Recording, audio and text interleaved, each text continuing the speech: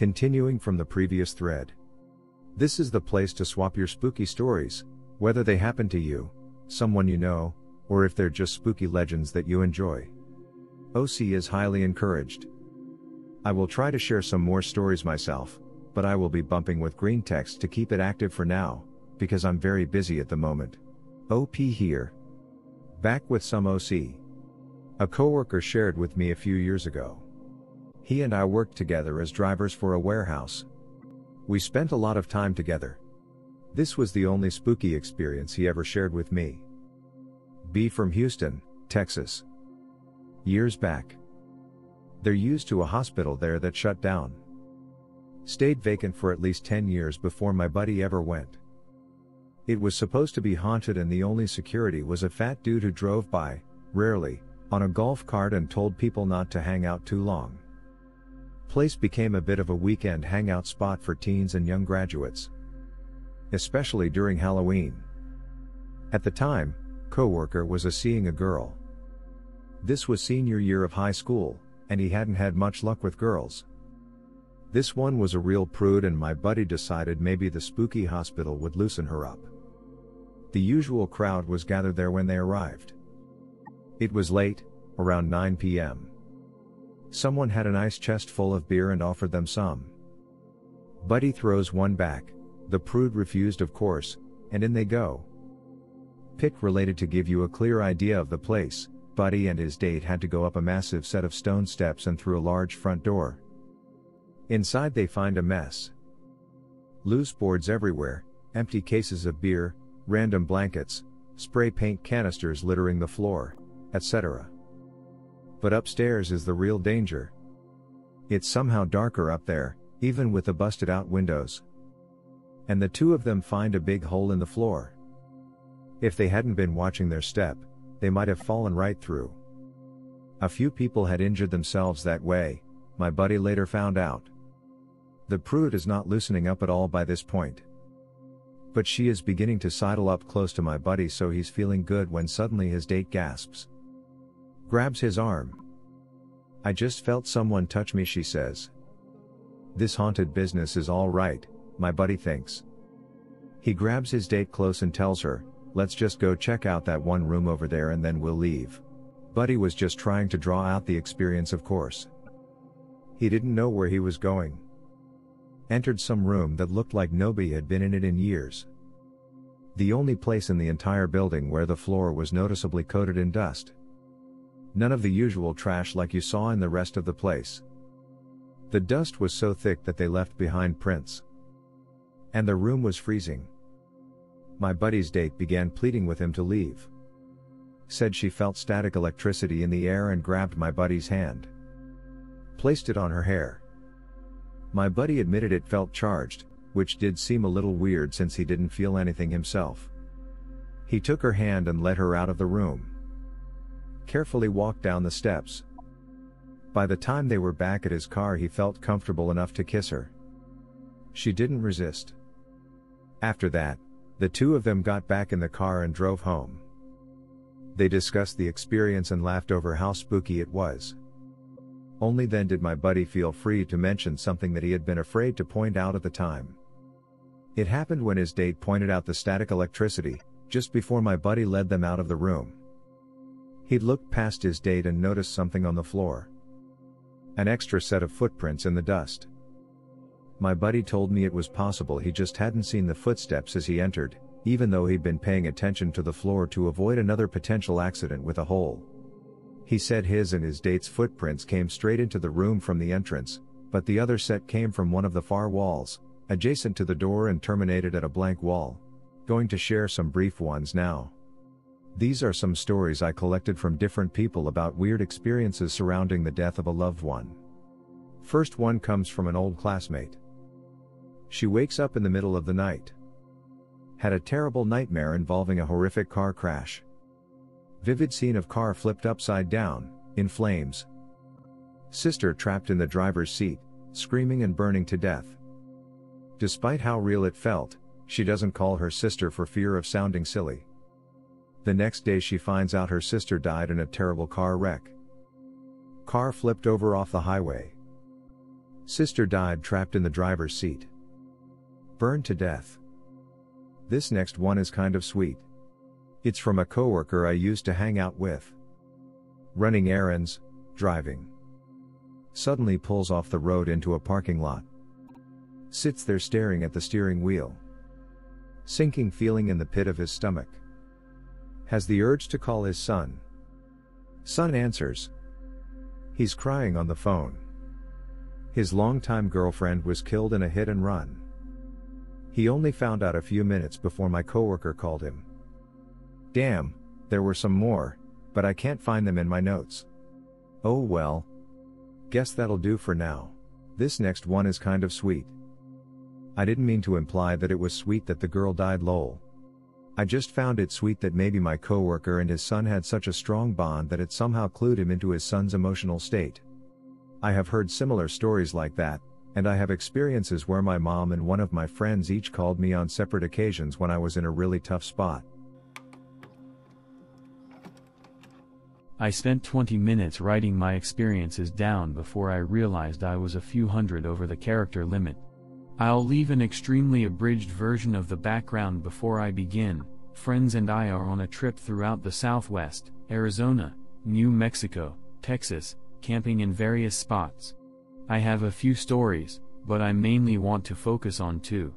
Can't go into full detail of why we were there without getting off topic and spending a lot of time explaining stuff that isn't germane to the stories themselves. So I'll begin. Be me. Redneck slash out slash, slash K slash fag. Friends with me. Similar backgrounds. We are camping at a spot in West Texas where people come to shoot guns. Texas doesn't have a lot of BLM land. The few bit of acres that exist are ravaged and completely trashed. We're in one of those such spots. Whatever, Moo Texas and Moo redneckisms. Anyway, we're shooting guns all through the day. Lighting off fireworks. Drinking a little bit. We decide to do target practice at a small hill to the northwest. Adjacent to side-by-side trail. Trail isn't large enough for conventional vehicles. Only saw one RZR all day and it was going opposite direction. Decide it's safe. Start firing. Halfway through shoot. A goddamn Dodge Charger is going down the road. Immediately yell for my friends to cease fire. Drop my gun. I just about shat myself. Thought I just killed someone or shot a vehicle. They stop for a few seconds, take continue. We kind of wave in an apologetic mater. About a half mile up the road is a hill that leads back to the main road. They stop. See a person get out and get on a phone. Have no idea what they're doing. Thinking they're calling the cops or something. We kind of sit there, freaking out. No idea what's about to happen. Person gets back in their car. They approach. A million thoughts are racing through my mind. Is this it? The day I'm about to die in a gunfight with some stranger in the middle of the goddamn desert. Friends think similar thoughts, I wave them down. They asked for help with their RZR, off-road vehicle to uninitiated agree and apologized for shooting toward them. Act confused, as if I didn't. Think it's some messed up cartel trap or something at first. But find their shit and it's on side. Help flip it. They thank me take off hastily. Really weird people but whatever. They come back later in day with trailer. Their trailer is filled with sandbags, remember this. Wave and think all's well. They wave back and we don't see them again. Come sunset we decide to hike and get pics. Beauty.jpg. As we go back to campsite notice a collection of animal skeletons. Ram and dog skulls in a circular shape. Really weird. Kinda spooks us cause it was close to where we set up camp. We go back to camp. Outside is absolutely trashed. Nothing stolen, but all our food, ammo, supplies, scattered. See piss puddle near truck and think it was an animal. But then we noticed near tire marks. We decided to nope the hell out of there. Load truck as quickly as we could. Had guns ready just in case we were being surveyed from a distance. Drive down the dinky road as fast as possible without screwing my suspension up. As soon as we approach the blacktop we see a shitload of sandbags blocking the road. Lol 4 by 4 engage and go around it. Get to the interstate as fast as I could. That's when me and my friends realized that down in Texas, the only land is for private owners. No public land is safe in that state. Second story isn't nearly as eventual, but still really weird. Jump ahead two days later. We're in Maricopa County, Oz. Few more friends from back home decided to meet us out there. Some flew, some drove. We decide to do a quick escapade to the desert for some quick shooting and fireworks. It's around 8 p.m. and it's dark already. Me and the friends I traveled with get a head start. Right before the blacktop turns to Desert Road, there is a steakhouse restaurant. Open seasonally. Never eaten there, so we agree to make it the meetup spot. Friends were delayed so we ate ahead of them. After meal and friends are just barely about 45 minutes out. We decide to go outside for smokes and a quick walk. To give you a better idea. This is rural ass Arizona. This restaurant is the only semblance of business for miles. Only thing around us is desert and private ranches. So we decide to play a little spook on our friends.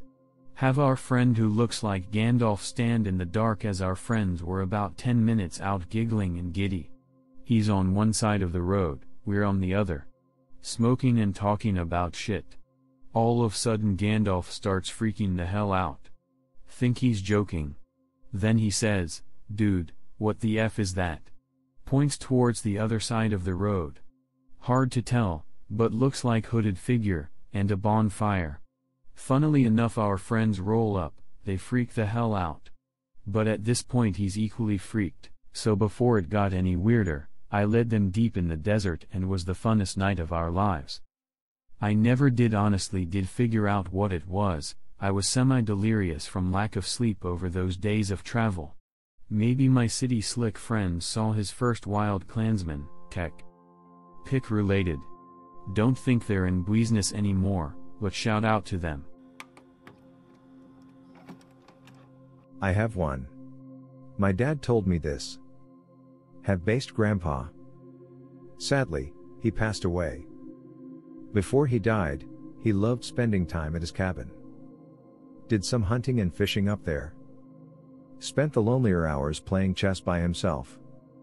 After grandpa dies, dad rummages through the cabin for anything that might be of sentimental or financial value. One thing he leaves behind is grandpa's chess set. It's a cheap one anyway and not worth anything. Dad comes back a few times to check on the cabin. Finds the chess set open, with pieces on it. It's like that each time he visits. Dad thinks it must be squatters or just some disrespectful campers slash hikers breaking in and using the cabin without permission. Decides to spend a week there to scare off anybody who might be using the cabin on the sly. Puts away the chess set. Passes the night there. Next morning, the chess set is open again, set up with the pieces as though someone were playing during the night. Dad thinks him, not good. Figures these must be some brazen intruders. Feels lucky they didn't attack him. He's confused though because he locked the front door. And the back door makes a ton of noise when opened so he knows he would have heard that. Fast forward to that night. Dad doesn't sleep. Stays up all night by the front door with his gun in his lap. The entire night, his attention is focused out the front window. He isn't worried about the back because, again, he knows he'll hear anyone trying to come in through that door. Long before they actually get inside. All night, nothing happens. When morning comes, Dad is ready for some shut eye. He gets out of his chair, turns around to head to his room. There on the table, in the same room he's been sitting in all night, just behind his chair, is the chess set. It's open, with the pieces set up on top. This story of mine has always made me think if I really met whoever was playing basketball with me as a kid. There was no weirdness involved other than some paranormal stuff. Be me around 2001. Six years old. At a family gathering out in the countryside. It was cloudy outside, drizzling. Bored.jpg. Go outside with a raincoat and a hat to keep me dry. Eventually stumble upon a basketball court down the road. There was a man in his 30s 40s playing basketball all by himself. He also had a blue bicycle close by. Hollered at him and asked him if I could join in. He said sure. He gave me the basketball and guided me along. We both had a lot of fun and shared a lot of laughs. 20 minutes passes and he has to go. Sad.jpg. He told me that maybe one day we will meet again and play more basketball. See him get up on his bicycle and go his way. Shouted bye. He shouted bye back. Go back home and find my older sister talking to my parents. Apparently she also went out and saw me, apparently just as the man said he had to go. Parents asked me worryingly what did you do out in the rain? I said played basketball with a cool dude. My older sister told my parents I was out there all by myself. Shocked.jpg. It still boggles my mind that it wasn't even real, that the man that I had so much fun playing basketball with didn't exist. It was one of the reasons why I started believing in the paranormal. This happened in the late 2000s sometime. Boring, but here's a bump. Aunt and uncle are letting me and mother stay at their home on slash near Bull Run Battlefield. They go on a trip somewhere, and leave the house to us too. The house was cheaply built on a hill in the 70s, technically has two stories, but looks like one story from the street. Previous owner was a weirdo who would go outside naked to do chores, put lint in the windowsill, hoard stuff, etc. Anyway, uncle is constantly working on slash remodeling the house. Nothing is ever perfect for my aunt however, she always has him change stuff. By this time, stairway is in the middle of the house, leading down to basement floor, which has you turn hard left, down a narrow hallway that leads to a small room with large windows. Adjacent to that room are double sliding doors that lead to the master bedroom, making it a den. One night, past midnight, when my mother and I were sleeping in the master bedroom. I heard what sounded like heavy boot steps suddenly, yet slowly, going down the stairway. Hear jingling with each step. Not necessarily frozen in fear, but definitely unsettled. Don't say anything to mother, as our backs are turned to each other. She doesn't say anything, so I figure she's asleep. Steps continue until about the middle of the stairway. Nothing afterwards, Next morning I asked my mother if she heard them last night. She said yes, but she didn't want to scare me. Thought it might have been an invader, but after they stopped abruptly, she thought maybe it was a spirit from the war, a cavalryman. This is the first, and only time I personally have experienced anything remotely close to paranormal. I'm still skeptical, as I was young, and would let my imagination run wild with things because this was during a time when I was first exposed to country living. My mother is also a firm believer in the paranormal, ghosts, crystals, whatever else, and so she prone to simply explaining any phenomena as supernatural. Another story that happened in the same house, maybe a year or so before we got there. Cousin, who is in her teens, is staying in a room that my uncle built where half of the kitchen used to be. You enter the front door, and on the right, there's the room door. She and her mom have a complicated past, still going through things. Her bed is up against the wall in the far left corner from the door, with the TV mounted on an extendable swivel on the closest right corner. Windows on the same wall as the TV. She has her back leaned up against the wall, watching TV. Suddenly she feels a pressure on her chest, and it's getting more intense by the second. She tries moving, but can't. I guess she couldn't scream for help, as the force was pushing the wind out of her lungs. Eventually it relents, and she runs crying to her mom's room. I forgot if she only slept with her mom and stepfather that night, or if she didn't for a few nights. Either way, She was pretty freaked out. Everyone didn't know how my aunt was to her. So we all thought she was a bad kid, deserving of whatever happened to her. My mother figured it was a spirit punishing her for her energy, or what have you. Anyway, I came to the conclusion that she didn't deserve all of those negative opinions about her, and so maybe this spirit was just malevolent? Not saying she didn't do some stuff she wasn't supposed to, but I don't blame her not wanting to be around her mom now knowing what I do. And again, I don't really believe in this stuff, and so maybe she was just having a panic attack or something. Everyone didn't know. Wow, bad English. I'm tired. Here's another from my cousin. Cousin, her husband to be, and their little one are traveling on the highway at night. They have to pull over because husband to be needs to pee. Pretty dark outside, near they think a farm, but there is a tree line that he steps into, and there are trees going back as far as they can tell. After he is done, he starts to walk back to the truck, but notices something in the distance. It's a light, forgot what color, maybe blue? It starts to get closer, brighter even. They both see it, and husband to be runs to the car. They get out of there. Cousin looks up the area that they were in the next morning, and apparently there have been reports of a light appearing in the woods there, strange stuff happening. Just so happens that during the same night, shortly after they had left, there was an accident where a truck slash van flipped over along the same tree line where they saw the light. That's all for now. Me and my coworkers were talking about dreams and creepy premonition shit. One of my coworkers who is Russian told me a real dream that her grandma had. Be Russian babushka and gray Soviet bloc hellscape. Hear loud knocking at your door in the middle of the night. Oh shit it's probably the KGB. Open door. There are unsmiling men in suits. They demand to be let in and to see your husband. Tell them no and to go away. They refuse, become more adamant. Again refuse, tell them to go away right now. All the men in suits silently look at each other. They walk away without saying a word march upstairs instead of downstairs where the door to the outside is. Wake up from crazy dream. Find out that your neighbor in the apartment right above you actually died last night. True story as told to me by a person who had no reason to lie.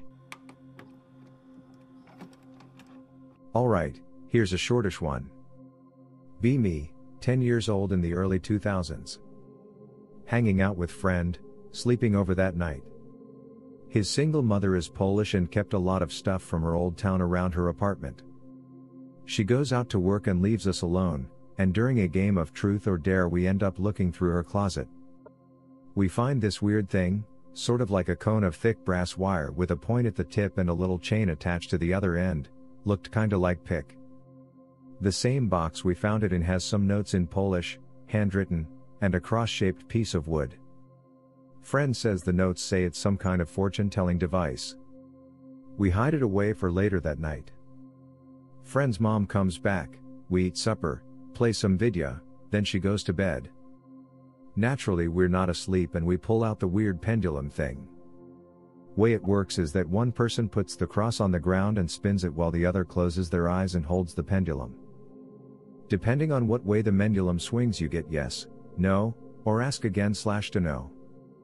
He holds it first and I ask a few dumb things to test, get good answers, we agree to swap every three questions.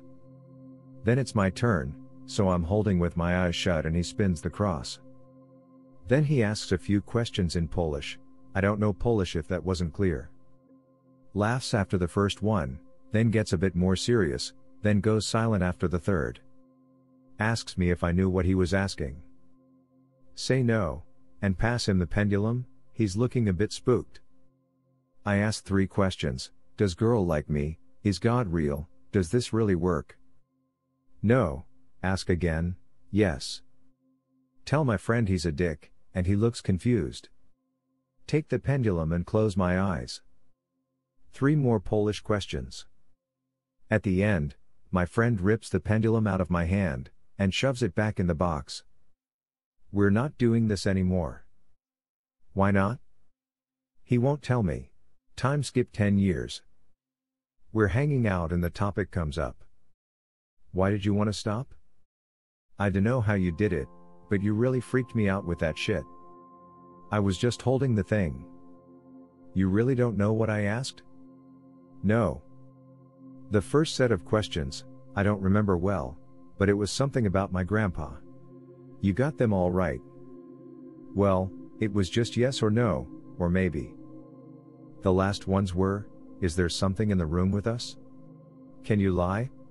Say yes then no then yes again if you want to hurt us. I get some chills because I know what's coming. Let me guess. Yes. Spin. Then it went from yes, to no, to yes, then spun around again. FUK.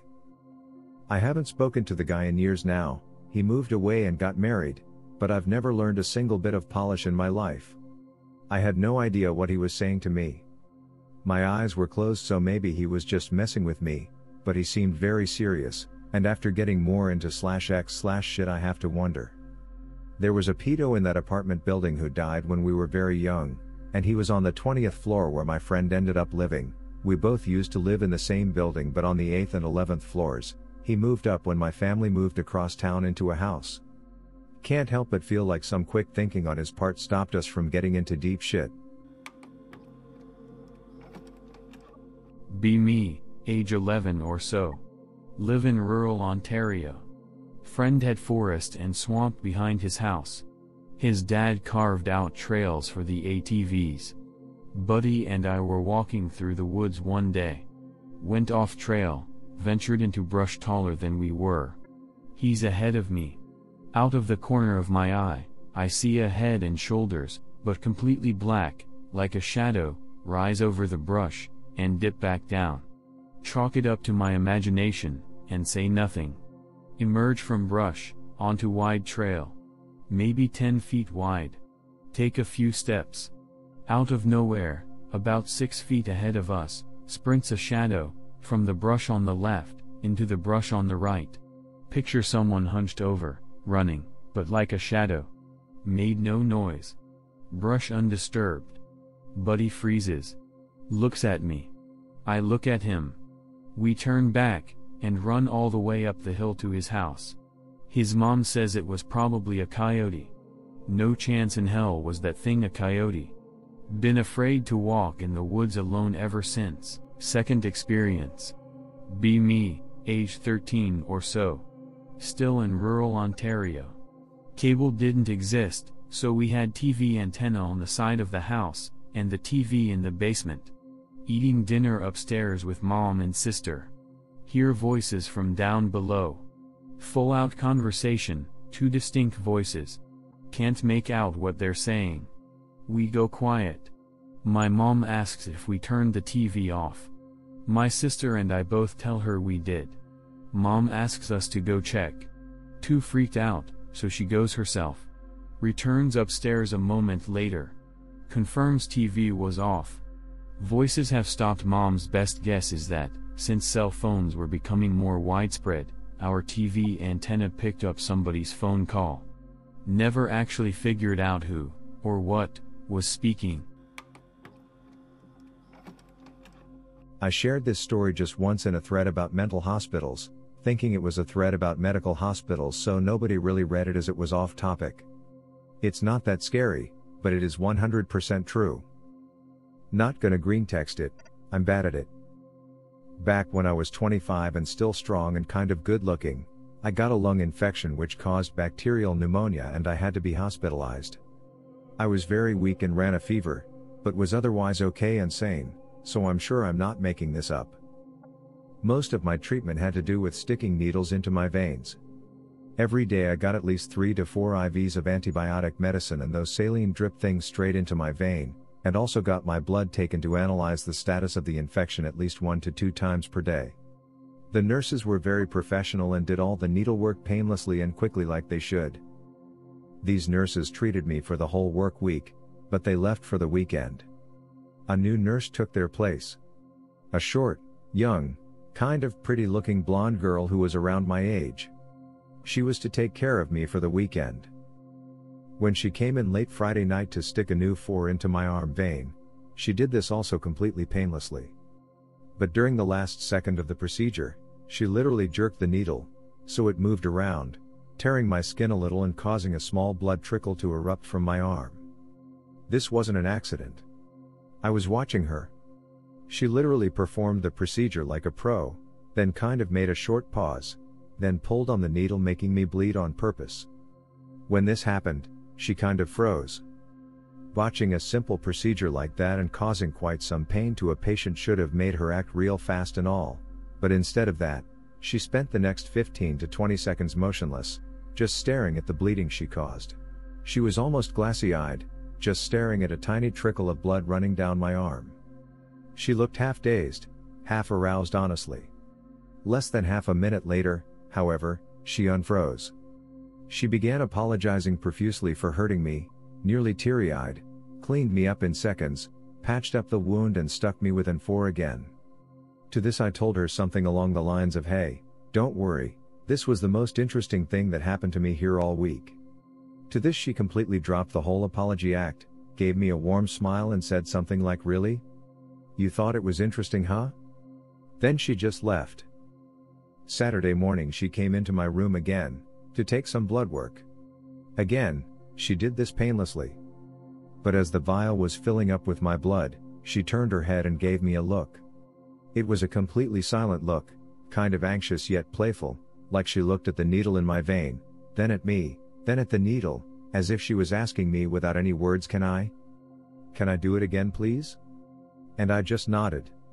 Without saying anything, she unscrewed the blood vial, put it into the lab tray, but instead of then carefully taking the needle out of my hand vein, she jerked it again, like last time, making it scratch and tear my skin from the inside and cause a bleeding. She poked a hole in my vein this time, and if you ever saw a vein open up, it makes this tiny fountain of blood that sprinkles around due to blood pressure. She then froze up again, just watching this tiny fountain spray her hands, my hand, my bed sheet and my bed table red. Her eyes were like blue glass beads. She wasn't even breathing, it was like seeing me bleed put her under a spell, like it was the best thing ever, like she lived her whole life for moments like this. And dude, I swear I never had any BDSM style urges, I was never into blood play, I literally learned the word blood play only after I was released from that hospital and told this story to a friend. I was always disturbed and scared by blood like all normies, and something like this would have bring me closer to vomiting than to arousal at any time in my life. But at that moment, when I saw her literally melt from the sight of my blood spraying all over, I got this savage primal feeling in my body. I was too weak from the sickness to even get a hard on, but I felt like if I could, I'd do unspeakable shit to that girl, and all of that unspeakable shit had to do with blood and pain and the sweet ecstasy of it all. Now at the moment of typing this out, these thoughts scare me a bit. But at that moment they felt like the most normal vanilla thing ever. A moment passed, she got back to normal, took care of the wound she caused, but this time before leaving, she kind of petted me on the head. Like you pet a dog, kinda. But there was so much gratitude and affection in her eyes, dude. Them were real honest to God bang me eyes. We did this several more times during the weekend. We never spoke, she just came in, sat on my bed, and several times when I had the strength to sit in my bed instead of lying down, she sat on my lap as she made me bleed a little. Same look of glassy eyed senseless ecstasy on her face each time. She petted my head or my face afterwards each time.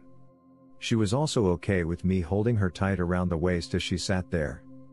It was a wordless mutual understanding between us. She no longer wore gloves.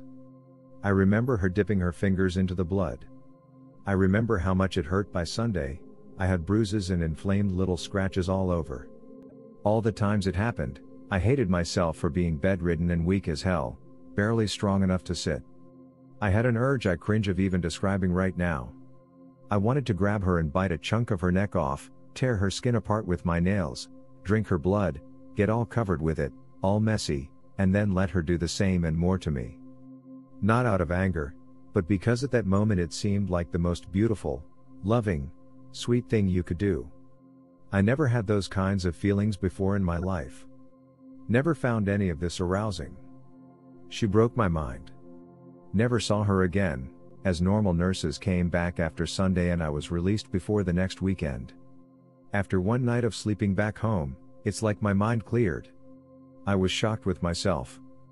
Why would I let her do that? Why would I think it was hot? What's with the murderous urges I had? Why did pain feel good? I loathed myself for months.